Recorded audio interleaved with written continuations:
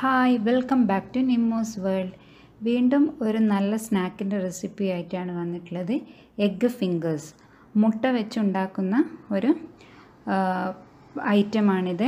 വൈകുന്നേരം ചായക്കൊക്കെ നല്ലൊരു ടേസ്റ്റി ആയിട്ടുള്ള പലഹാരമായിട്ട് കഴിക്കാൻ പറ്റും.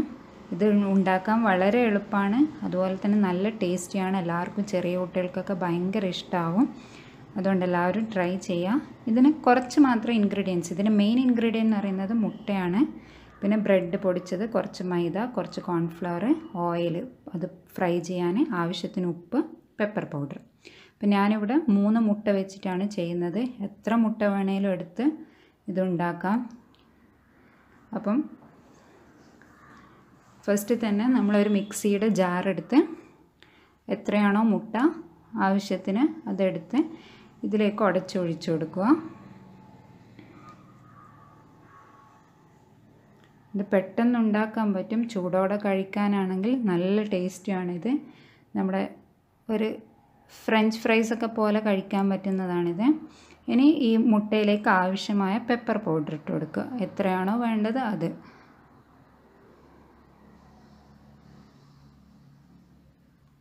അതുപോലെ തന്നെ ആവശ്യത്തിന് ഉപ്പും ചേർത്ത് കൊടുക്കുക.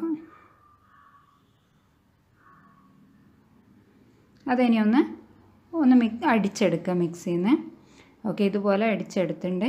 ഇനി നമ്മളിത് വേവിക്കാൻ പോകുന്നത് നമ്മുടെ ആവിച്ചെമ്പിലാണ്. അപ്പോൾ ഈ മിക്സിയിൽ അടിച്ച കൂട്ടൊഴിക്കാൻ പറ്റുന്നവർ ആവിച്ചെമ്പിൽ വെക്കാൻ പറ്റുന്നവർ ബൗളെടുക്കുക ഒരു കുറച്ച് കട്ടിയിൽ കിട്ടുന്ന വിധത്തിലുള്ള ഒരു പാത്രം നമ്മുടെ ഈ കൂട്ട് ഒഴിക്കാൻ പറ്റുന്ന. അതിന് വെള്ളം തിളച്ചതിന് ശേഷം ഈ കൂട്ട് അതിലേക്ക് ഇറക്കി വെച്ച് ഒരു ഏഴ് മിനിറ്റ് ആകുമ്പോഴേക്കും അത് വെന്ത് വരും. ഓക്കെ അതൊന്ന് തണുത്താൽ ഒരു പ്ലേറ്റിലേക്ക് മാറ്റുക. നല്ല ഷേപ്പിൽ കിട്ടും. ഇവിടെ ഒരു ഷേപ്പ് അത്ര ലെവലായിട്ടില്ല ഇനി നമുക്കിഷ്ടമുള്ള ഷേപ്പിൽ ഇത് കട്ട് ചെയ്തെടുക്കാൻ ഇവിടെ എഗ് ഫിംഗേഴ്സ് എന്ന് പറഞ്ഞതുകൊണ്ട് ഇതുപോലെ അത്യാവശ്യം തടിയിൽ ഒരു ഫിംഗേഴ്സ് പോലെ കട്ട് ചെയ്തിട്ടാണുള്ളത്. ഇനി ഒരു ബൗളിലേക്ക് മൈദ എടുക്കുക. ഒരു രണ്ട് സ്പൂൺ മൈദ. കുറച്ച് ഉപ്പിടുക അതിൽ. എന്നിട്ട് ആവശ്യത്തിന് വെള്ളം ഒഴിച്ച് നല്ല ലൂസിലുള്ള ഒരു ബാറ്റർ ഉണ്ടാക്കാൻ വേണ്ടിയിട്ട് അതൊഴി ഉണ്ടാക്കിയെടുക്കുക അത് ഈ നമ്മൾ ഈ ഫിംഗേഴ്സ് ഡിപ്പ് ചെയ്ത് പൊരിക്കാൻ വേണ്ടിയിട്ട് ഇനി അല്ലെങ്കിൽ മുട്ട കലക്കിയിട്ടെടുത്താലും മതി. ഇനി ഒരു സ്പൂൺ നിറയെ കോൺഫ്ലവർ എടുക്കുക. ഇതും വേണമെങ്കിൽ മതി. കുറച്ചുകൂടി ക്രിസ്പി ആയിട്ട് കിട്ടാൻ വേണ്ടിയിട്ടാണ്. ഇനി അതിലേക്ക് ആവശ്യം കുറച്ച് ഉപ്പ് ചേർക്കുക. കുറച്ച് പെപ്പർ പൗഡർ കൂടി ചേർത്ത് മിക്സ് ആക്കുക. മൈദ എടുക്കുന്നില്ലെങ്കിൽ മുട്ട ആയാലും കുഴപ്പമില്ല. ഇതാ മൈദ ഇതുപോലെ ആക്കി വെച്ചിട്ടുണ്ട്. ഇതാ ഇതുപോലെ ലൂസായിട്ട് എടുക്കണം. ഇനി നമ്മുടെ ബ്രെഡ് ക്രംസ്. ഇത് പൊരിക്കാൻ ആവശ്യത്തിനുള്ള ബ്രെഡ് ക്രംസ്. ബ്രെഡ് പൊടി മിക്സിയിൽ പൊടിച്ചെടുത്തതാണിത്.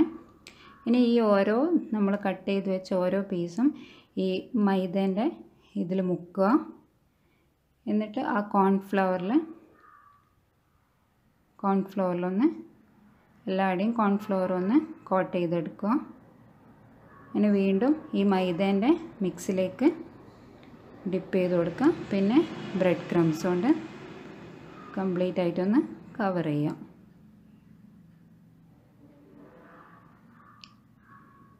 ഇതുപോലെ കംപ്ലീറ്റ് ആയിട്ട് കവർ ചെയ്യാം ഈ എഗ്ഗ് എങ്ങനെ ഏത് ഷേപ്പിൽ വേണമെങ്കിലും കട്ട് ചെയ്യാം.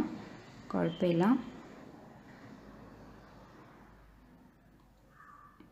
അതുപോലെ ബാക്കിയുള്ള കട്ട് ചെയ്ത് വെച്ച ഫിംഗേഴ്സ് മൊത്തം ഇതുപോലെ ചെയ്ത് ബ്രെഡ് ക്രംസിൽ നന്നായി കോട്ട് ചെയ്തെടുക്കുക.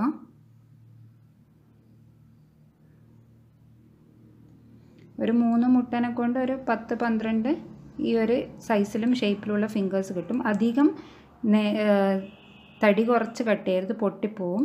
ഇനി ഇത് ആവശ്യത്തിനുള്ള ഇത് ഫ്രൈ ചെയ്യാൻ ആവശ്യത്തിനുള്ള ഓയിൽ എടുക്കുക. കുറച്ച് ഓയിൽ എടുത്താൽ മതി. എന്നിട്ട് ഇതുപോലെ ഒരു ഗോൾഡൻ ബ്രൗൺ ആവുന്നത് വരെ ഫ്രൈ ചെയ്തെടുക്കുക. ഇതാ ഇതുപോലെ ഉണ്ടാവും. ഇത് ചൂടോടെ കഴിക്കാൻ ഭയങ്കര ടേസ്റ്റാണ് നല്ല ക്രഞ്ചി ആയിട്ടുണ്ടാവും. മുട്ടയാണെന്നൊന്നും പെട്ടെന്ന് തോന്നില്ല. അപ്പോൾ എല്ലാവരും ഇത് ട്രൈ ചെയ്ത് നോക്കുക. വളരെ സിമ്പിളാണ് ഉണ്ടാക്കാൻ. അതുപോലെ തന്നെ നല്ല ടേസ്റ്റിയാണ് കുട്ടികൾക്കൊക്കെ സ്നാക്ക് ബോക്സിലൊക്കെ കൊടുക്കാൻ പറ്റും. ഇപ്പോൾ സോസൊക്കെ കൂട്ടി കഴിക്കാൻ ചാനൽ സബ്സ്ക്രൈബ് ചെയ്തില്ലെങ്കിൽ പ്ലീസ് സബ്സ്ക്രൈബ് ചെയ്യുക. അതുപോലെ ഞാൻ അപ്ലോഡ് ചെയ്യുന്ന വീഡിയോസിന്റെ നോട്ടിഫിക്കേഷൻസ് കിട്ടാൻ വേണ്ടി ആ ബെൽ ഐക്കൺ കൂടി ഒന്ന് പ്രസ് ചെയ്യുക. Subscribe the channel.